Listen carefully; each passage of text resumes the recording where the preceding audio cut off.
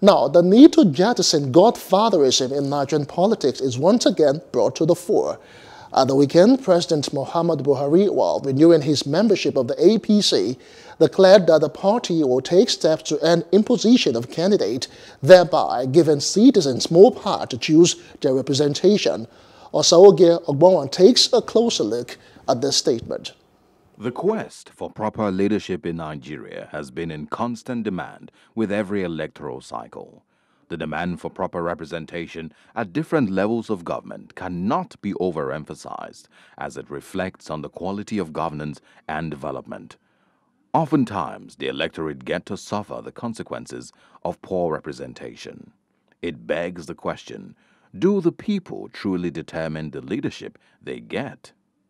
One of the things that democracy does not promise is that you will have that the best candidates will emerge. It's not one of the promises of democracy.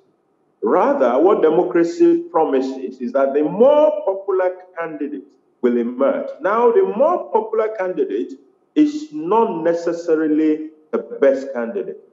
In the Nigerian party system, internal democracy has been the bane of poor leadership and less than average representation. With the much needed paradigm shift coming from President Muhammadu Buhari on Saturday, but skeptics consider the statement just as political rhetorics.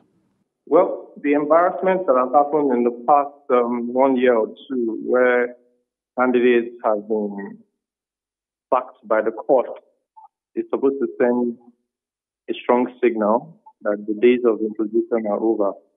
But as is usually the case, some people still won't learn their lesson.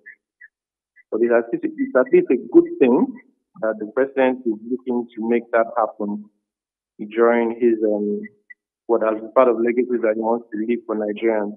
Uh, but when you look at what are those factors that disposes the party to this problem, Part of it has to do with the law itself, the, the party constitution that allows uh, what they call the direct and the indirect method of choosing candidates within the party. So it goes all the way to the constitution of the party, which they need to deal with at the constitutional level.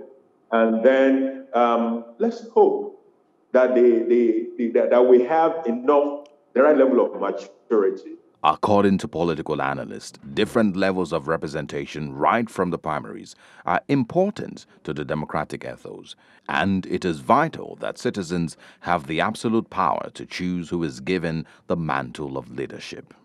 Osarogie Ogbonmwan, Plus TV Africa. Hello, hope you enjoyed the news. Please do subscribe to our YouTube channel and don't forget to hit the notification button so you get notified about fresh news updates.